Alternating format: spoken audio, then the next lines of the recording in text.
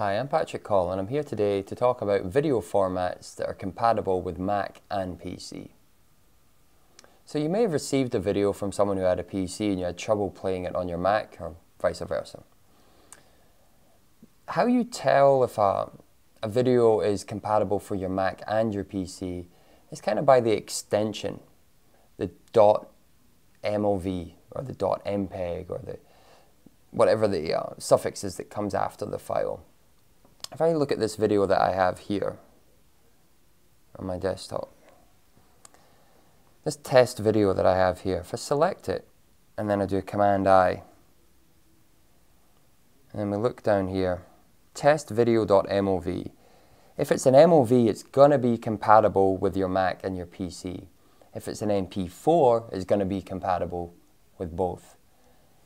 If you have other ones, you may have trouble with them you can always convert them or there's other ways that you can um, you can view them on your Mac or your PC. If it's your Mac, you want, might want to use VLC as a good way of using video formats that are formatted for PC. They will show on your Mac if you use VLC. But if it's an MOV or an MP4, you're good. Compatible for both. So if you want to check that, you can select the video, do a Command I for information, and then look at its name. Basically, if it comes with a suffix that starts with M, normally you're good. MOV, MP4, you're good. I'm Patrick Coll. I hope this has been helpful. Thank you for watching.